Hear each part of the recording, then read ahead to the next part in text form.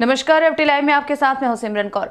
लखनऊ मलिहाबाद विकासखंड माल में उप मुख्यमंत्री केशव प्रसाद मौर्य ने और राज्य मंत्री कौशल किशोर ने विशाल जनसभा को संबोधित किया। आपको बताते चले कि उप मुख्यमंत्री केशव प्रसाद मौर्य ने जनता को संबोधित करते हुए कहा कि किसान व गरीब एक समान हिंदू हो या मुसलमान, सभी हमारे लिए एक समान है। लखनऊ विधानसभा एक मलिहाबाद क्षेत्र के माल ब्लॉक की जनता के बीच उप मुख्यमंत्री केशव प्रसाद मौर्य ने भारतीय जनता पार्टी की सरकार दोबारा बनाने के लिए क्षेत्र की जनता से अपील की। उन्होंने कहा कि विधानसभा एक से भारतीय जनता पार्टी के उम्मीदवार जयदेवी कौशल को भारी बहुमत से विजयी बनाए और जनसभा को संबोधित करते हुए उन्होंने केंद्र तथा उत्तर प्रदेश की योगी सरकार द्वारा गरीबों तथा किसानों को उनके लिए कल्याणकारी योजनाओं को दोहराया तथा जनता से भारतीय जनता पार्टी के बिना भेदभाव किए सभी को योजनाओं का लाभ समान रूप से दिया गया। जनसभा में उन्होंने केंद्र व प्रदेश की सरकार की महत्वाकांक्षी योजनाओं के क्रियान्वयन में सभी को समान दृष्टि से देखा गया है। फिर वह चाहे गरीब हो, किसान हो तथा हिंदू हो या मुसलमान हो। अपने संबोधन में पहले ही समाजवादी पार्टी की सरकार की जातिगत नीतियों पर जमकर हमला बोला। उप मुख्यमंत्री ने कहा कि हमारी सरकार ने गरीब, किसान तथा वंचितों को उनका हक किसी भेदभाव के बिना पहुँचाने का काम किया है। सपा की सरकार को आड़े हाथों लेते हुए कहा कि उत्तर प्रदेश में 2017 से पहले के सपा सरकार 2022 विधानसभा चुनाव में भारतीय जनता पार्टी की उम्मीदवार जयदेवी कौशल को भारी बहुमत से विजयी बनाए और अपील करते हुए यह भी कहा कि बीजेपी की सरकार बनते ही अधूरे रह गए विकास कार्यो को पुनः पूरा किया जाएगा। हज़ारों की संख्या में लोग उपस्थित रहे। शब्द का प्रयोग करने लगे। श्री अखिलेश यादव जी से मैं पूछना चाहता हूँ, इतना क्यों फुला गए इतना क्यों घबरा गए जनता के बारे में जानते नहीं। आप 2014 में मुख्यमंत्री थे चुनाव हुआ।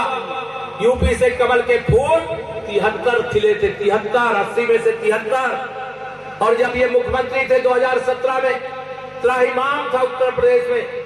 और चुनाव हुआ तो 325 विधायक जीते थे। 2022 में भी 300 से अधिक सीटें हम फिर जीतने जा रहे हैं। पूरे विश्वास से मैं आज यहाँ पर कह करके जा रहा हूँ। और एक नारा मैं यूपी भर में लगाता हूँ। नारा मेरा क्या है? सौ में साठ प्रतिशत वोट हमारा है। चालीस प्रतिशत वोटों में बंटवारा है और बंटवारे वाले वोटों में भी हमारा है। अब आप कहोगे, क्यों है? तो मैं कहता हूँ, सबका साथ, सबका विकास हम कर रहे हैं। हमारे लिए गरीब गरीब एक समान, हिंदू हो या मुसलमान। है कि नहीं बताइए? हमारे लिए किसान किसान एक समान, हिंदू हो या मुसलमान।